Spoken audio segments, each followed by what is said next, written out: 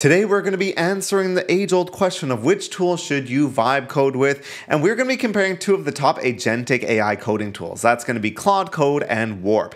Now, both of these tools have been extremely popular in the past. A lot of developers are starting to onboard onto it, and as someone who is interviewing a lot of developers for technical roles, I have seen a lot more companies start to ask for proficiencies in these types of tools. So the question is, if you're going to onboard to one, which one should it be? Now, quick disclaimer, Warp is a sponsor of mine. They have sponsored previous videos and they are sponsoring this one, but I only took this sponsorship with the agreement that I can make a completely objective analysis of Claude Code versus Warp. And luckily they agreed to it, so everything you're gonna see here today is gonna be my objective opinion. I'm not gonna try and sugarcoat anything. And to keep this as objective as possible, I'm gonna be scoring both on four different criteria. Number one is code quality. How easy is it to actually onboard an engineer after the coding is done? Number two is gonna be performance and latency, how long it actually takes takes to make what we're trying to make. Number three is UI quality. Was it easy to actually use the tool or was it just a jumbled up mess inside of a terminal? And number four is scalability. How well can it handle increasingly difficult tasks as the code base gets larger? And as for what we're actually having it build, we're gonna do a completely original idea, something that I don't think anyone has ever thought of or ever done in the history of humanity, which is going to be a website that allows you to chat with LLMs, but you get to choose which LLM you chat from. I'm also going to be using the free tier of both tools to see how far I can actually get without paying anything, so that'll be interesting to test as well. Now, starting off with Warp, it actually is a AI tool in itself, and it started off as, I believe, a terminal, but you can now do agentic stuff inside of it. So to get started with this, we're going to have to download the Warp terminal terminal. So I've gone ahead and downloaded Warp and it looks pretty good, way better than any terminal I've actually used. And there are three different modes here. One is auto detection, which is like terminal and agent mode, and you can like have it choose based on what you've typed, whether it's a terminal command or agent mode. We're going to go ahead into agent mode here. And this is the prompt I'm going to give both models. So create an Next.js site where I can chat with an LLM. It should look like ChatGPT, but it should give me the options to choose between any of the latest OpenAI, Anthropic, or Google models. And I'm going to go ahead and click enter. It's 11.47 a.m.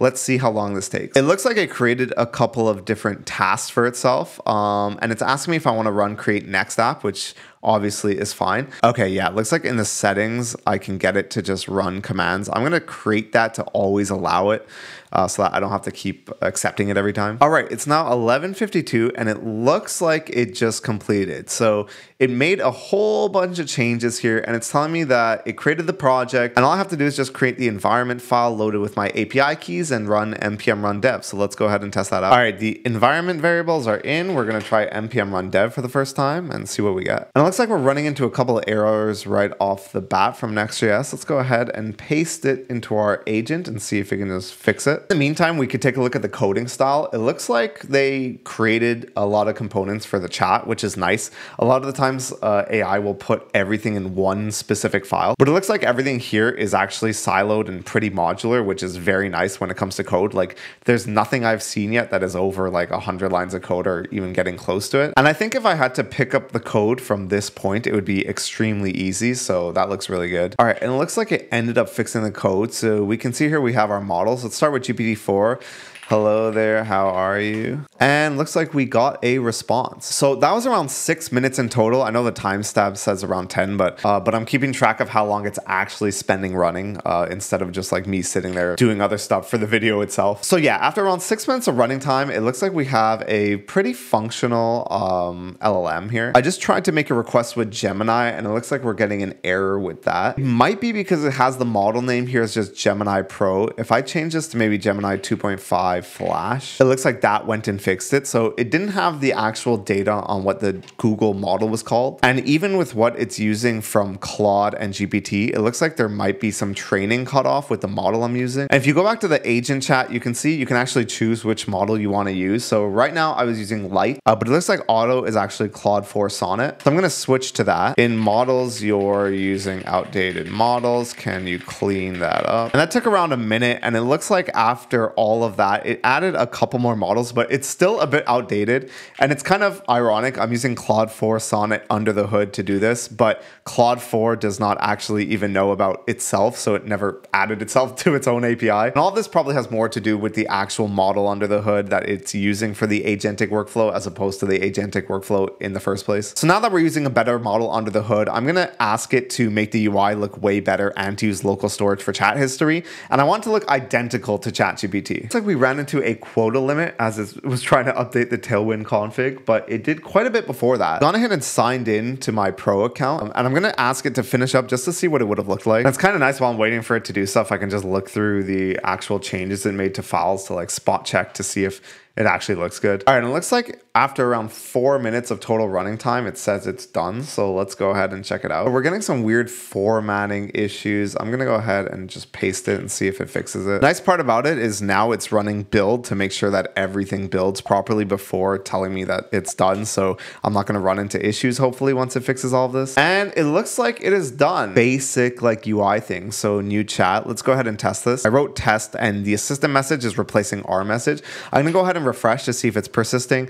And it looks like at least it is persisting. And yeah, there's quite a few bugs to fix here. Let's take a look at the code itself to see how clean it is. It looks like it put the actual session stuff in its own hook, which is very nice. You don't want this logic laying around in your actual code. So it makes debugging what's going on here a lot easier. It created a types folder with a chat.ts, which is nice. A lot of the times LLMs will just put all the actual types in the files that are using them, which makes it so that you have duplicate types all over the code base. And while there definitely are some bugs that need to be fixed, the code actually actually looks really clean. And I feel like I would be able to dive into this code myself, figure out what was going on, and fix a lot of it. And in total, what we have here was built with 11 minutes of vibe coding. Moving on to Claude, the nice part about this is, is it runs right in the terminal you already have. But the sad part about this is, is that the terminal you already have probably doesn't look as good as Warp's terminal. We can go ahead and install Claude code by just using an npm command. And they make it as hard as possible to figure out how to actually run it because the only command they have here is the actual install. And everywhere on their docs, they don't actually tell you what command to run it until you scroll all the way down, go to their documentation, and find that the actual command you should run is Claude. This is what the UI looks like. It's a lot more low fidelity than Warp's, and I'm gonna go ahead and paste in the exact same prompt. It's asking me if I wanna run it again. I'm gonna click yes and don't ask again, but it's only for that specific command.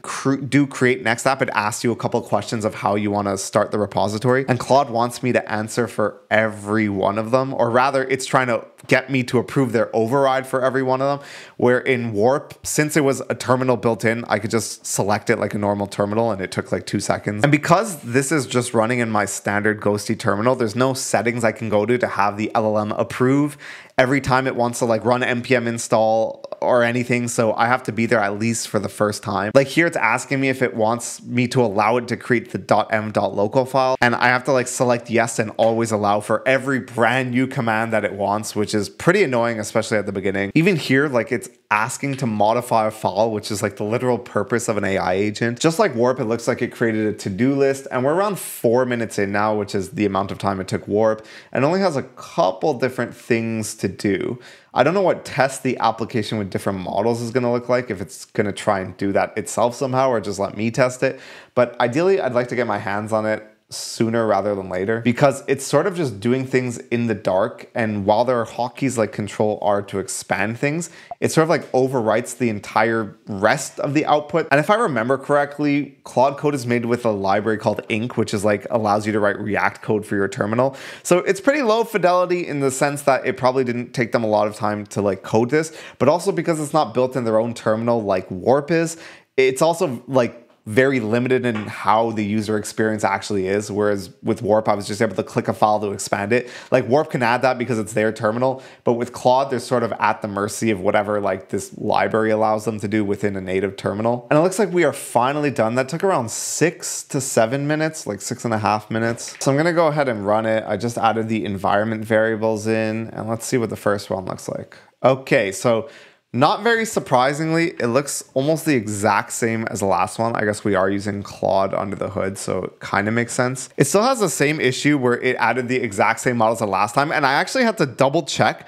that I was even in the right directory and I didn't just rerun the warp code again because it looked so similar. Let's go ahead and test if it actually works. Hello there. And hello, how can I assist you today? And it looks like it generated it pretty good. Let's take a look at the code. Yeah, overall, the code looks pretty similar. I'm gonna go ahead and give it the same prompt that I asked Warp to make the UI look way better and to add local storage. And of course, we somehow have to give Claude permission to do everything all over again. I guess it's because I killed Claude to run the app. And now I got to restart Claude, which restarts all the permissions for some reason. I find the to-do list to be pretty funny. Like update color scheme and layout to match ChatGPT's design. Update sidebar to show actual chat history list. like yeah, the previous sidebar was just showing the not actual chat history list. Sorry about that. It looks like it also is trying to go above and beyond by adding chat management functionality like saving, loading, and deleting chats. It's very noticeably a lot more difficult to pay attention to what is going on here. Sort of swaps between just giving you giant diffs in the code base, outputting its updated to-do list, and then just like a standard loading message. That took around five minutes. So let's go ahead and run this. I'm gonna create a new tab this time to run it. I don't know if this exactly looks a bit more like ChatGPT. I guess so. Let's test if the message history works. Okay, so basically everything is broken. It's kind of crazy that it took the thing that was working and just made it completely not work. And I was not able to follow along to anything that it actually did. So I don't even know where the issue could be. It found a potential issue and it's just adding console logs everywhere. I don't know how these console logs are helping in any way. I'm to paste them all to see if that actually fixes anything. It stated that the main issue is fixed. I'm to go ahead and refresh. Test message. Oh, we can see our message and it gave the for some reason when when it was loading it gave it like a WhatsApp icon. Did you see that? Like let me try like uh, how are you? Look at that. There's like a WhatsApp like phone icon. I'm to refresh it and it looks like the message is saved. So Overall, it looks like it's somewhat working. Tesla new chat. In total for Claude, it costed around 93 cents, I think, just to do what you saw there, and slightly longer than 13 minutes to actually create what you saw, but I guess in the end it did work better. So those were the results. Which tool should we actually use? I'm gonna say in terms of code quality, they were both equal. I feel like the code was pretty well organized, especially for a smaller repository. I was using Claude under the hood while I was using Warp for the majority of the time, so everything sort of looked the same, and I liked how both of them did it. When it comes to performance, Warp spent way less time on average per query. I got way more information about what was actually going on, and while it did have a couple more bugs that it had to fix, I feel like I preferred the performance of Warp a lot better. With UI quality, I think it's no surprise Warp wins hands down. The fact that Claude is super limited in the UI because it's using ink and it's just shoehorned into an existing terminal makes it extremely hard to figure out what is actually going on with what it's doing. It is pretty much the embodiment of vibe coding because you have no other way to go about looking at what it's doing other than just vibe. Whereas with Warp, not only is it like one of the best terminal UIs I've ever seen, but it was so easy to follow along with what it was actually doing because they own the terminal. I can click one of these and have it actually expand the change so I can see what it changed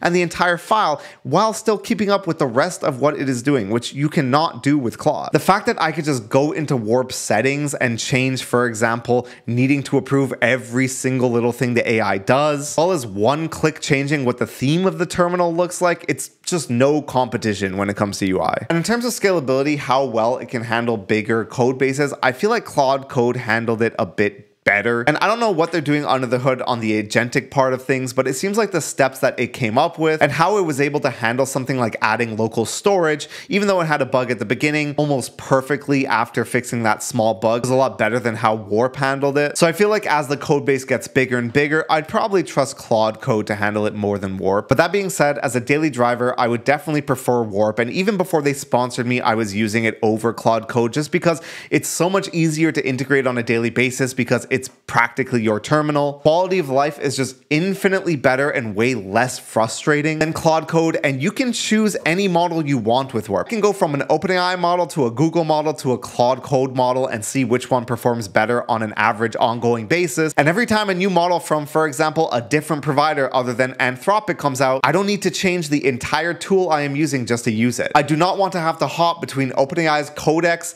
whatever they called the Amazon one, and Gemini CLI just because they have a slightly better model at the time. With Warp, I'm able to pay once, use whichever model I think is best for my code base with an infinitely better user experience. And that is why even before they sponsor me, I have been using them on a daily basis to code my startups. And if you want to give Warp a try, you can use their Premium Pro plan, which has 2,500 AI requests for just a dollar for your first month with my link in the description or the pinned comment below. Thanks again, Warp, for sponsoring this video, and I'll see you guys in the next one.